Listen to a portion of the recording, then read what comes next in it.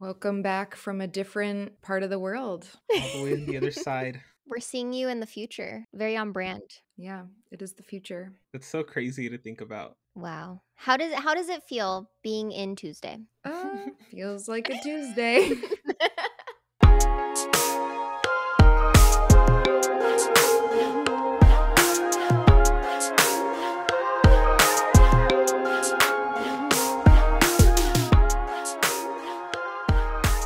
three favorite booksellers. I'm Lauren. I'm Carlos. I'm Rose.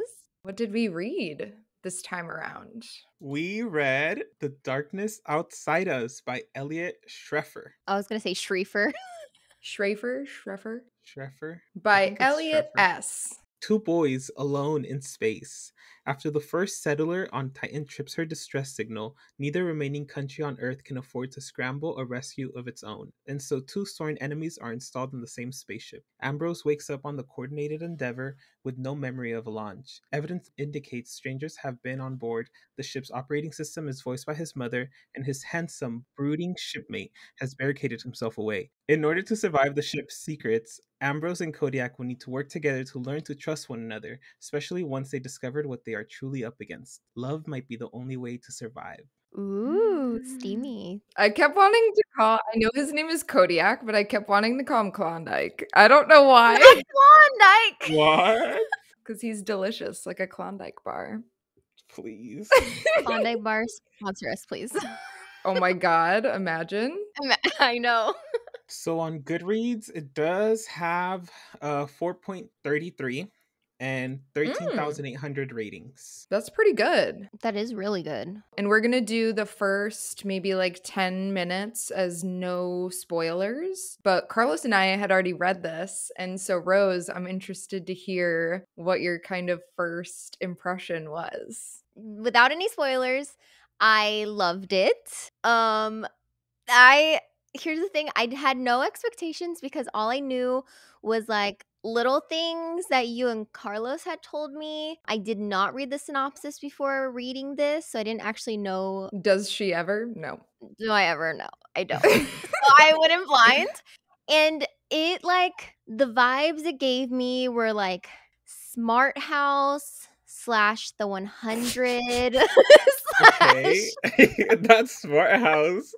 I'm dead. Were you Okay. not getting smart house from this? No, but I mean, I guess. Oh my God. What's her name? Patty Yeah. or something? Yeah. I literally pictured the OS. That's what it was. Her voice. As Patty. Yeah, it was like smart house slash the 100 slash Zenon, you know? Definitely. Gay Zenon. Love that. Yes. It's definitely one of those books that you have to go in blind because the twist is just so unexpected. Yeah, when okay, when like the whole middle section, because Carlos was like 50%, 50%. I was like, okay. So I get to that whole like middle section. I'm like, I had to go back and reread. yeah. what, Yeah. what is happening right now? Now, did you actually physically read it or did you audiobook it? I did both. So I read on my iPad and then I had like the audio going along, like highlighting it. Yeah, the second time around, I also did audio for it, and I actually really like the audio. I like the narrator a lot. Mhm. Yeah, I liked uh, Kodiak's accent. Yeah, the accent for Kodiak was good. I liked how even just from the beginning, just Ambrose like waking up because he wakes up on the ship. OS is like talking to him in his mom's voice and like trying to jog his memory. And I feel like I was really suspicious from the beginning. Not not that I could have even dreamed of what the the plot twist was because that was just insanity, but like from the get go, just the whole rescue mission to save Minerva, his sister, I was like, I don't know. Yeah, when I f- read it the first time, I did. I feel like I didn't notice it as fast, but obviously reading it the second time, I was like, oh, okay, like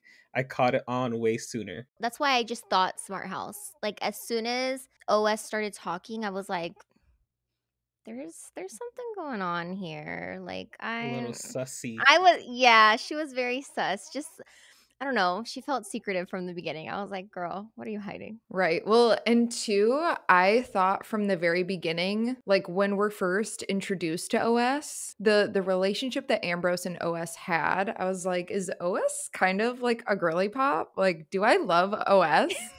but then I was like, I switched teams. I'm like, absolutely not. I am not a fan of OS as much. Uh, something I do want to say for the non spoiler part I do think the book is very mismarketed. The cover feels very YA, and obviously, like mm-hmm. it's shelved in YA, but I feel like it could definitely be adult. Like I feel like if someone if you saw it in a bookstore like in the YA section, you would not expect it to be like what it is. Not with the cover. Uh-uh. I would say and especially a lot of the themes of this book, like once you pass that 50 that magic 50% mark once you pass that the theme is very like uh philosophical. Yeah it does get pretty dark. Some of the humor and some of the some of the interactions did seem very young adult just with Kodiak and Ambrose so I feel like if those were made to be a little bit more adult then this could have very easily been put in the adult area. But they're just little two teens in love you guys. They're just teening it up. Right. Teening it up. our youths, they are our youth. Well, kind of. They're kind oh, I was gonna say. Oh. oh. God. I I feel like if we actually had like scenes with the mom that I would have hated her, but I also just find it hilarious that she paid to have her surrogate have like Alexander the Great's DNA. Oh yeah. right? I love that. Not the designer children. he says that like his mom did that for all of her children. Like she just has like so many offspring, not from her body, but with her DNA mixed with other great men of the of the world but i love how specifically him and minerva are more sibling than the rest of them specifically because they both come from alexander the great yeah it definitely had a lot of humor there's a lot of funny moments with ambrose you're alone on this ship and you're just like a teenager and you find him doing very teenager things. oh my gosh, literally. Ambrose is like in a serious situation and he's like, I think I'm feeling kind of horny. like, Ambrose, please. As soon as he finds out Kodiak's the guy, he's like, "Well, I want, I want to fuck him." He's like, he kept his window open today. Think he wants to bang? I'm like, that's me, just delusional. but it was like a slow burn, which I appreciated. It wasn't like just because they were the only two people on the ship that Kodiak right away was like, You're right. I love you. Let's do this. It was very much like Yeah, it took a while. You don't even find out right away that he likes guys, you know? Yeah, like the progression makes sense. Even with like all the crazy stuff that goes on, I still liked it. Oh, also like that gave very like the good place. Have you guys seen the good place? Without we're still in non-spoilers, but I'll explain later we already spoiled that it has a crazy plot twist. Not that that's really like a big spoiler, but like definitely on that same level of The Good Place. So people liked that plot twist. They're going to love this one. They yeah, definitely. Oh my god, when he changes, he changes the voice of the operating system to piss off Kodiak. he like changes it like this? And oh, like oh that was so funny. The narrator did such a good job with that. I loved it. And what was it? He was like i want you to be so broody and because it was like their version of like a like an idol right? Or something like mm-hmm. that it was still weird that he kept it at his mom but i know he said there was like hundreds of different options and he just kept it as his mom. Even though like his mom didn't really raise him, it was interesting that he felt comfort in that. Yeah, because they definitely had, from what he described, like a troubled relationship. She wasn't like a nurturer. Mm-hmm. I feel like where I noticed that things were kind of not what they seemed was when, as soon as he was like kind of lagging and just like enjoying being on the ship with Kodiak, they received the SOS from that Titan planet or moon. Oh, right. Was Titan a moon or a planet? Titan was the sh- It's a moon. Oh, I thought Titan was like the ship.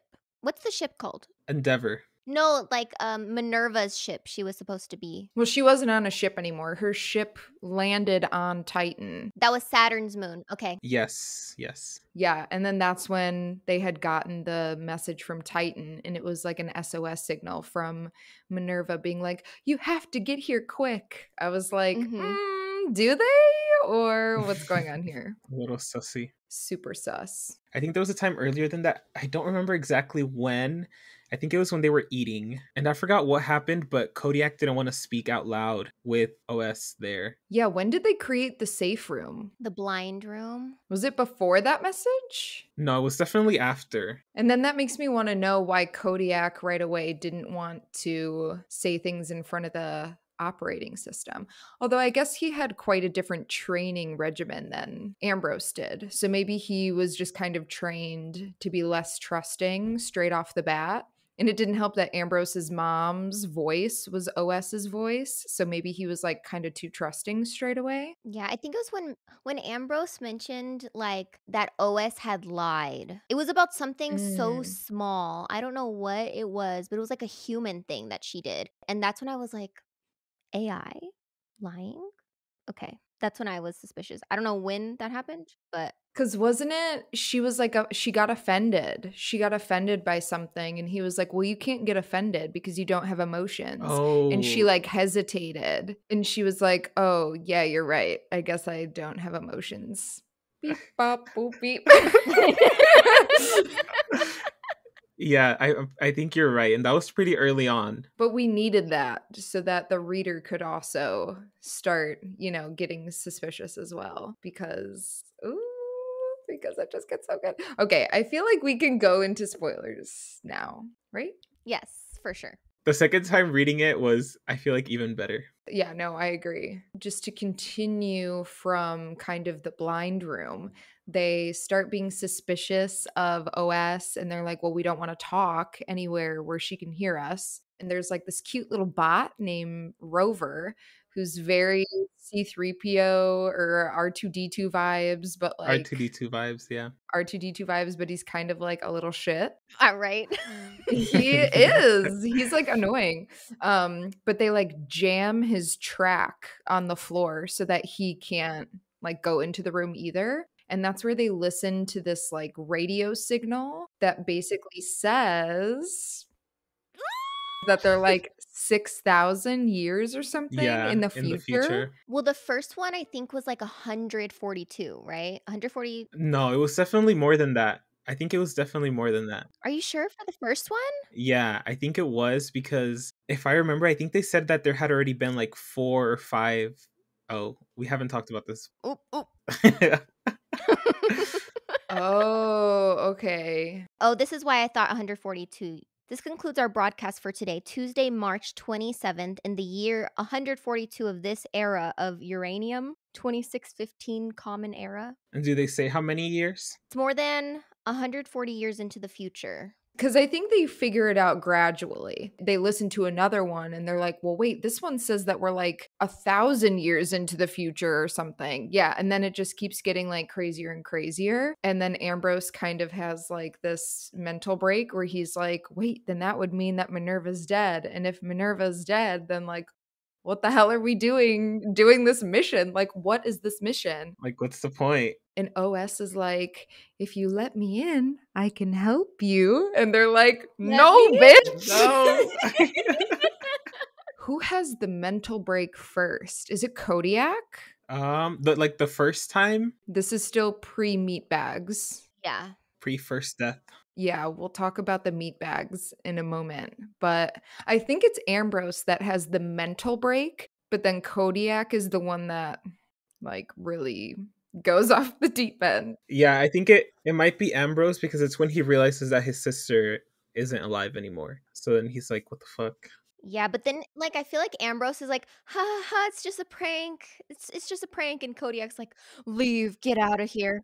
cool joke. yeah.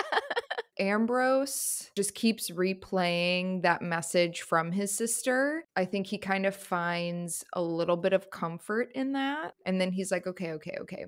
Let's regroup. Let me just talk to Kodiak. Well, Kodiak in the other room has just been like, "Ah!" totally losing his fucking marbles. we should talk about the meat bags, right? Go into the meat Yeah. bags because that that was the part I had to reread. the meat bags. As soon as he said a face, I was like, a face? What are you talking about? I re- I went back and reread it like three times. I was like, what is happening here? So please introduce these So good. these juicy meat bags. Oh, God, it's disgusting. So there was a door to part of the ship, and this giant door looked like it was beat to hell, had blood on it, and they were like, what the hell like how how does this door Oh, have yeah, blood on it if you and i both just woke up you know like this is just Mhm. the start of our mission so how is something on the ship already fucked up time passes but their suspicions keep rising and they finally get into this little terminal within the spaceship. OS is trying so hard not to get them into this area to the point where the little bot rover comes up and electrocutes one of them. I think it was Kodiak. Yeah. Uh, Yeah, I think you're right. He's like, get the fuck away from this door. And Ambrose is like, no. And he, like, zero gravity floats over, and something catches his eye. And it's this, like Rose said, couldn't have said it better myself, this juicy meat bag. And they're like, there are multiple, and they're hanging up basically on this, like, circular coat rack. And as he gets closer, he sees a face, and the face just so happens to be his. But what I did realize this time reading it was that they don't reveal that it's them until the second time. The second, yeah. So after the first death, we still don't know what those bags are. Yeah, because Ambrose is just like, there are bodies in there. There are bodies in there. And Mhm. Kodiak's like, are we sure? And Ambrose is like, I'm super sure. And that's when Kodiak goes to check and he's like, okay, Ambrose, like, you have to come see this. Ambrose follows in after him. And then it's this big reveal that there are clones of Ambrose and Kodiak together on this like meat fridge. Yeah. And then our lovely little Kodiak has a mentee bee, a little bit of a mentee bee, and he does kill himself and also Ambrose, right? I think that's the second. No, no, no. That's the second time. The first time, the way they die, they're trying to set up a radio to get signal, and he goes outside to try to like set it up. But OS is like, like, what are you doing? You don't have any tasks to do out there. And she kind of catches on, and she like unlatches his thing, and he goes flying off into space. And then I think Ambrose. Ambrose goes after him or something, right? Or does she kind of just open the door and Ambrose also goes flying out and dies? I think she opened the door. Yeah, she opens the door. Right. He was like trying to hold on, but he couldn't. Oh, right, right. And then that's when he like woke up again. And that's what I was like, what is what? Yeah, like the book just restarts. Yeah, it was before the faces were revealed. And then I'm like, okay, yes, I'm finally to part two. Cause this book also like doesn't have chapters, which was very different. It's broken up into major parts, but then each like chapter break is just like how many maintenance things. Tasks are less. Yeah. Yeah. So I was like, oh, part two. Okay, let's see what's gonna happen. And it just like repeats what happened on page one. I was like, didn't I already read this? What is going on? Like I had to go check my audio too. I was like, is there a glitch? What's happening? I love that. The best part about it is when I picked up this book, I also had no idea what it was about. But I think I had just finished reading They Both Die at the End. So I wanted another like sci-fi two guy romance. And I just saw it like just on the shelf and I picked it up and I was like, you know what, I'm gonna read this. And yeah, it like blew my mind when I read it the first time. It was crazy. the plot twists don't even stop there. Like that is just kind of like the main reveal after the first Kodiak and Ambrose die. Well, the first that you're introduced to. Then it starts to part 2. It's so interesting to see how each clone figures out what's going on because I mean they're not able to completely fix the ship to what it was before. So like Right. us reading about Kodiak and Ambrose making the blind room. Now these new clones wake up. And the blind room just exists. And so they're like, why would there be a room like this where OS can't hear us? So they kind of figure it out faster than the other ones because they're like, ah, okay, something real weird is here. Yeah, I think the second pair that we see, that's the one where Kodiak goes super crazy and starts like punching the wall, right? And then he ends up killing Ambrose. And then I don't know how does he kill himself as well? I think he does. When do they like download? I, I'm imagining it's like a like a Ben 10 bracelet. I know it's probably not, but when do they download that OS? Oh, OS Prime. Yeah, I, I imagined it more like an iPad. Oh, really? I'm like I'm like picturing Ben 10's bracelet. yeah, and they're like typing on. I don't know, that might be like the third Oh, it's the third time. Okay, around there. because I remember like that had a big part, like towards the end. Each time a clone pair dies, it just kind of restarts where the book literally started from page one, but not in an annoying way. Not where you're like, oh my God, I don't want to read this again because it Yeah. really doesn't like brush up on it too much, but it's just to kind of show the reader like what's happening. And I just thought that that was brilliant. And I feel like it made it like new enough. They they went on a different type of journey each time. And I liked how their reaction was different depending on how they found they find out that they're clones. Like each time they wake up, I feel like they find out in a different way and they react different to the scenario. And they kind of go through a good amount of them doing that because there's one where doesn't like Kodiak come in and like slit Ambrose's throat, or is that Rover? It's Rover. I was gonna say, I was like, Yeah. And I think it's recorded too, so the next Ambrose sees it and he's like super scared of of Rover. Yeah. And can we touch on that because I'm pretty sure he was about to like jerk off when he came across that video, Oh yeah, yeah. and then he was like, yeah.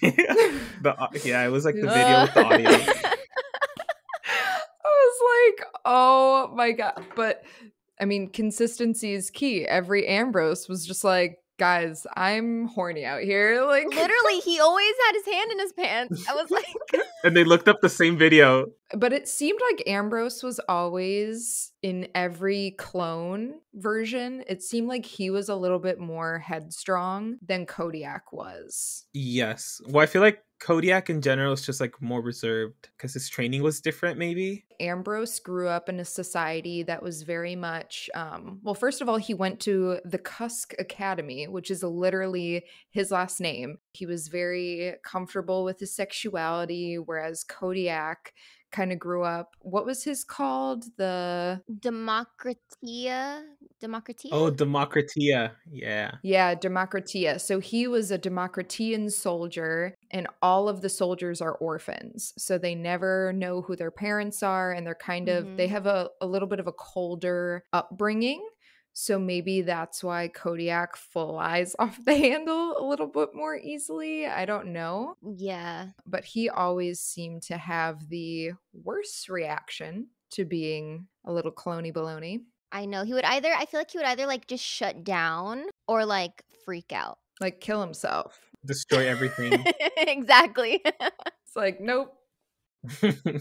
And OS Prime is the one that explains to them what their kind of like purpose in life is, right? Because OS never does. Correct.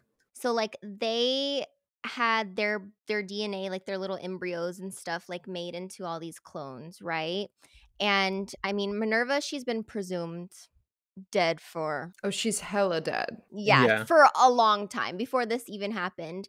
And so they were sent on this mission to like go to another place that they could inhabit and make life, right? To essentially save the human race. Yeah. Yes. They were the chosen ones to try and rebuild human life on a different Mhm. planet. But in order to do so, they needed to obviously travel a very, very, very long time thousands and thousands and thousands of years. So, how are we going to accomplish this?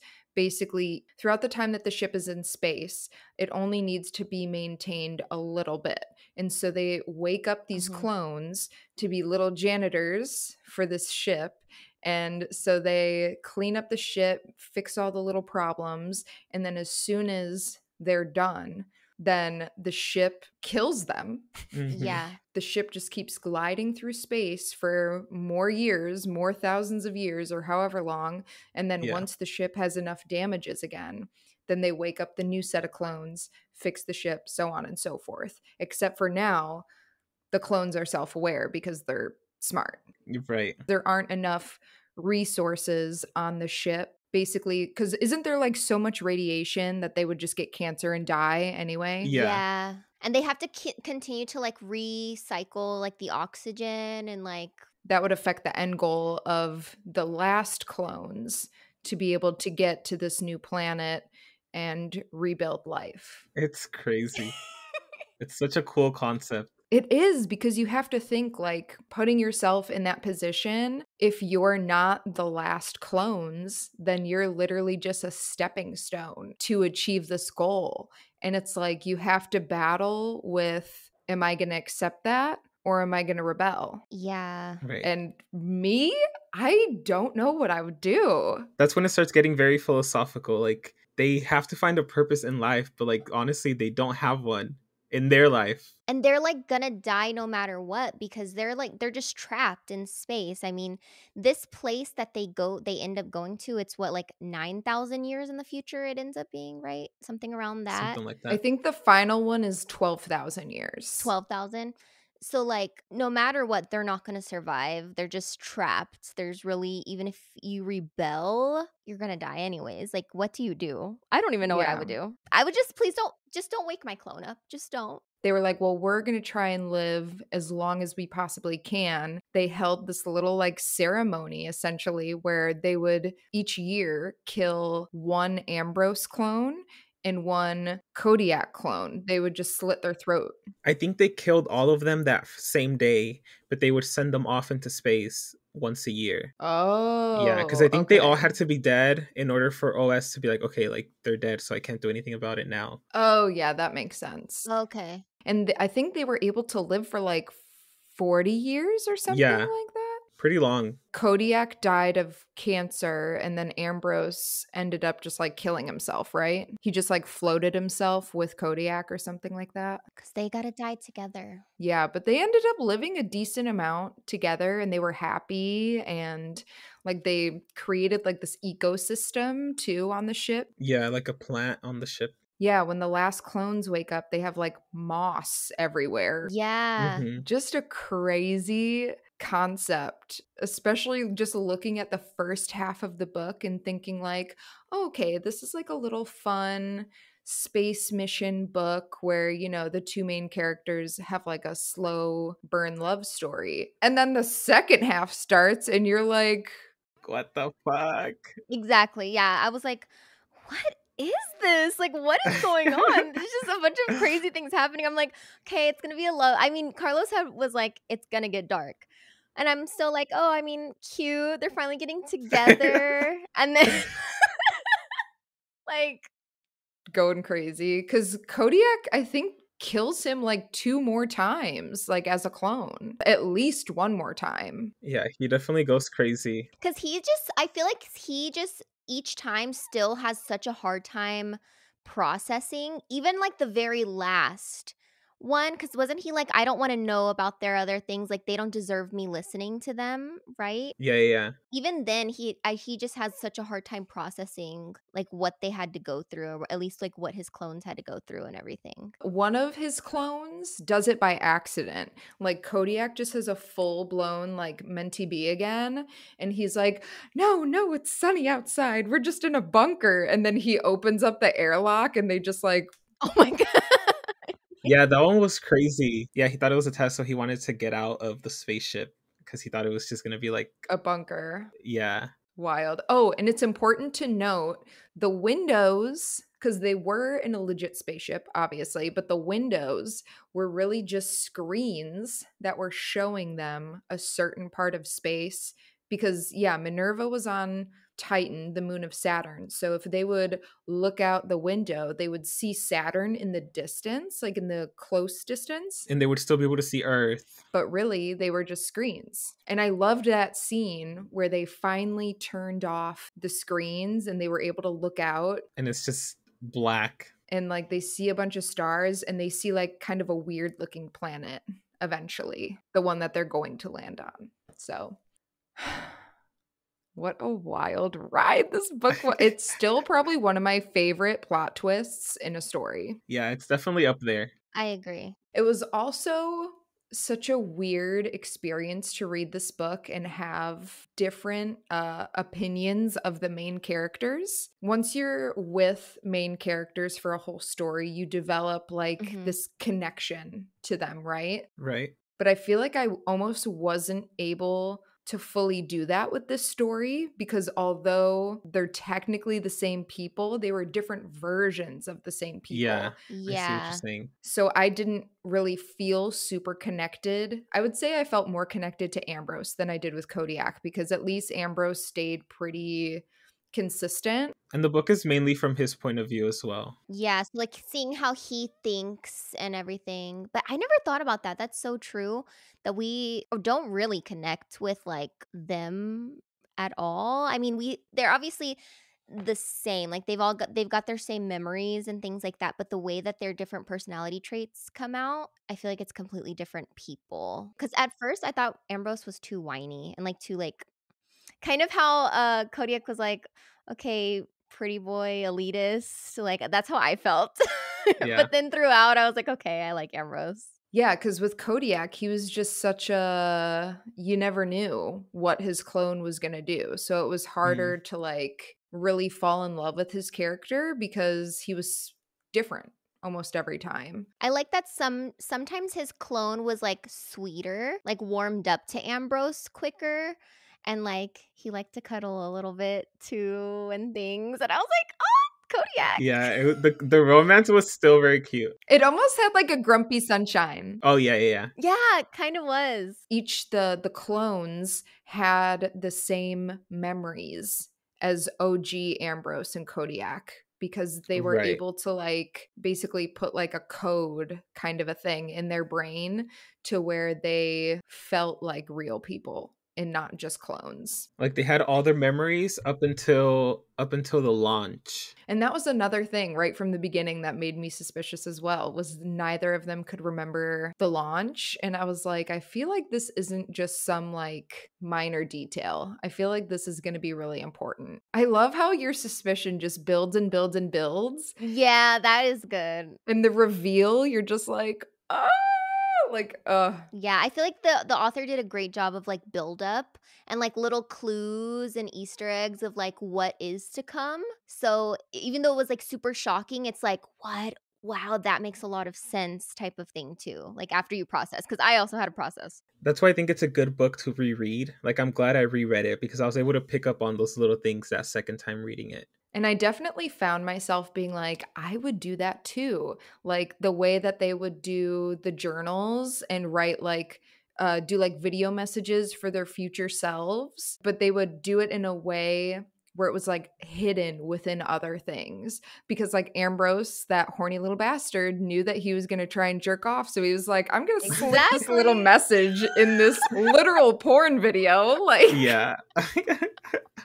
so wild, but like so smart. So smart. Oh, I'm so glad you liked it, Rose. I was so nervous. I don't know why, but I was. Yeah, and this th- I'm having a lot of firsts on our podcast because this is the first sci-fi I've ever read. Oh, okay. Like I was not used to all of like the whole like space thing and you know reading about The tech talk. exactly stuff like that. So I actually I thought I would be confused, you know, but I actually really liked it. I I felt like it was easy to follow along as a first sci-fi read. I think that helps that it's like written for YA. And I read like in the acknowledgments that he worked with someone at NASA or like that used to work at NASA um to kind of create it. So I appreciate that it's Ah. at least kind of accurate too. Yeah, it's definitely very mild on the science. Normally, like sci fi is very hit or miss with me. Either it's very boring and I'm like, oh my God, I don't need all this information. like, I am not a scientist, please. But if you couldn't tell, I mean, I don't know. Not that I like learned anything because it's all fiction, but definitely Yeah. made it fun. Made me feel studious.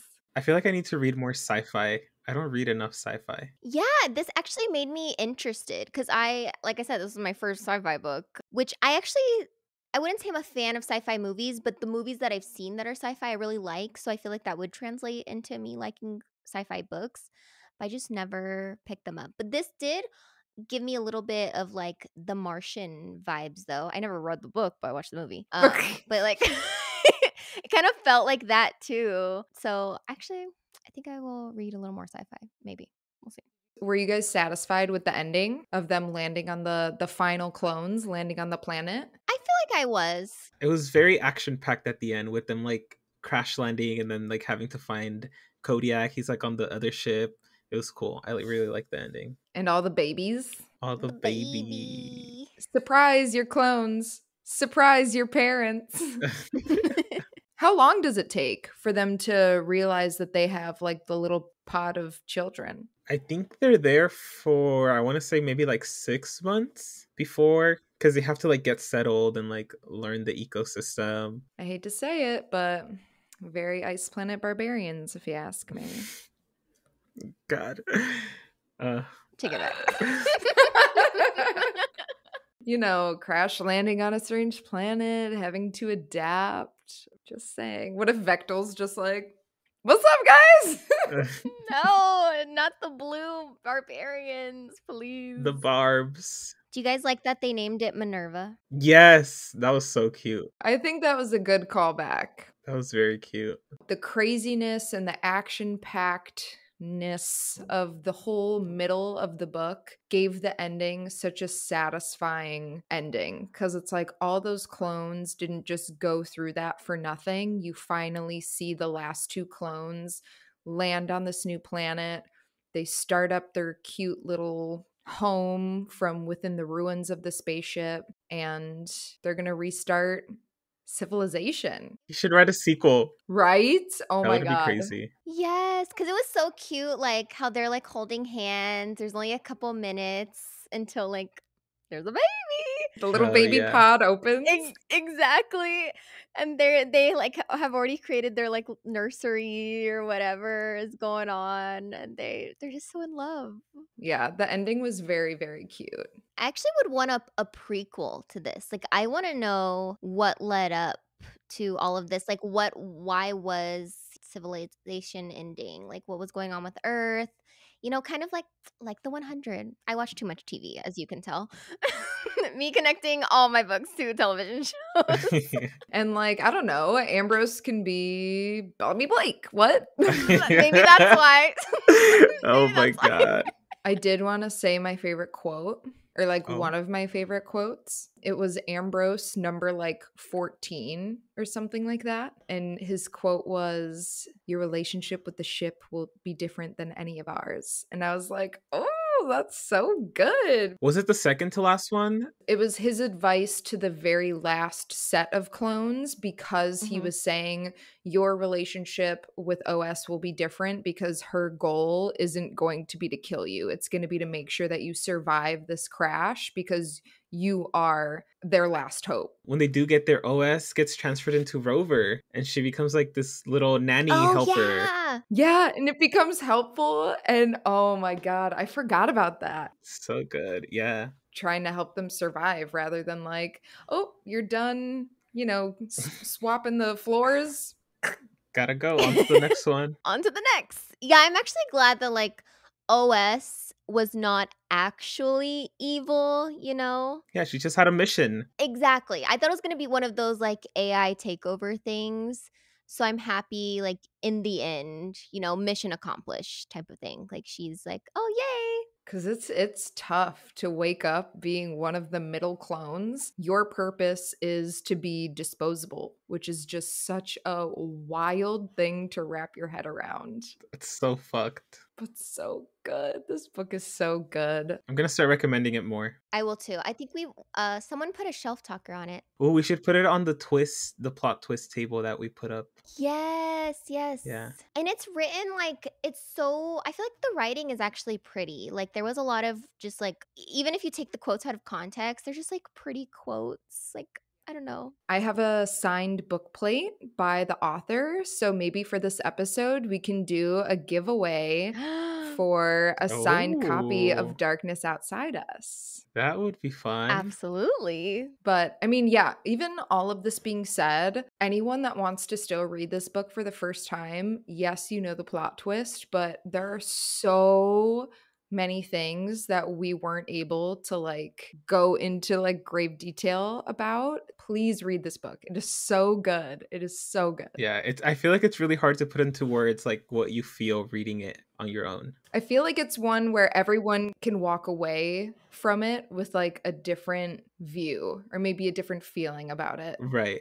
depending on what you would do in that situation because that that's heavy like the theme is a heavy one to unpack yeah like if i was if i was a middle clone i might just fucking kill all those clones and be like we're all going down bitches To know that you, the weight of humanity is on your shoulders. it's a lot I don't, what? And then you have to live alone for so long, and then you have to be in charge of like recreating the population. Like, that's too much for me. because you'd think that they sent them up there because maybe they have tested them throughout a long period of time and they thought okay even if they did realize the truth they have a good enough head on their shoulders where they would still be able to take the mission seriously and not fuck it up for the rest of us that's why they would not be sending me Oh no, I'm too anxious for that. Well, Ambrose only got sent because his mom is like super rich. No, Because she is the cusk. she wanted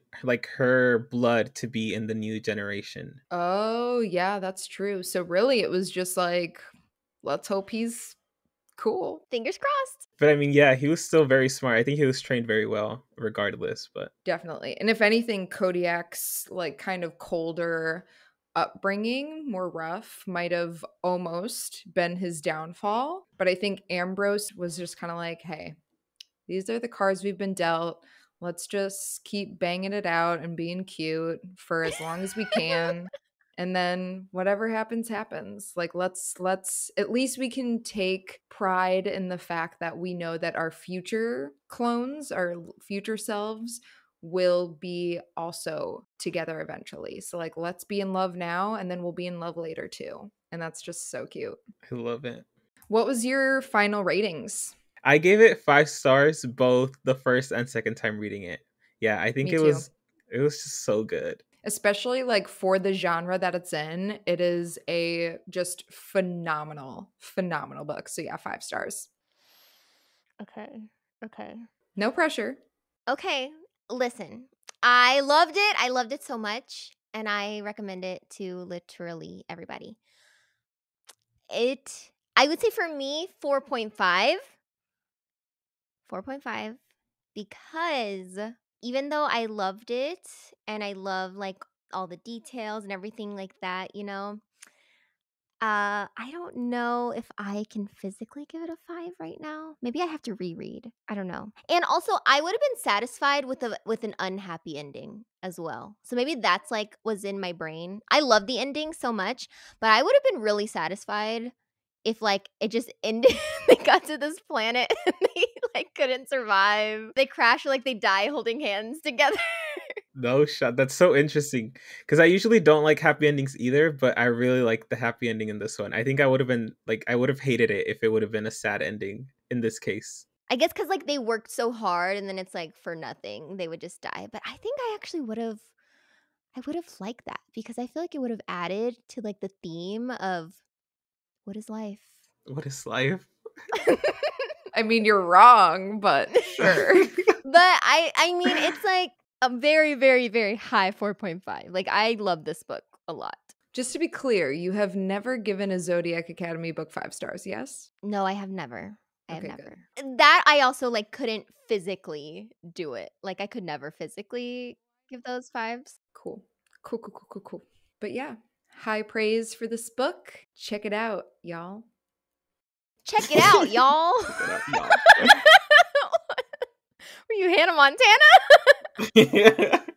Thanks for listening. Thanks for watching. thanks for coming on this wild ride and um as soon as this episode ends you're gonna figure out that you're just a clone oh, Dun dun dun. and you're gonna have to decide for the fate of humanity Stop, that's spooky. Where can people find you, Carlos? Can find me on Instagram at Kingdom of Books.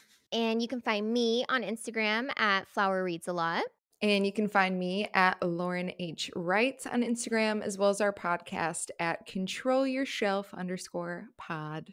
Oh, and YouTube, if you're not already here. And all your streaming platforms like like, review, subscribe, comment, all of those things. Please. Thank Yes. you. And keep an eye out for our giveaway because I've just decided we are going to do one. So keep an eye out if you want to read this book, then maybe you can get it signed by the author.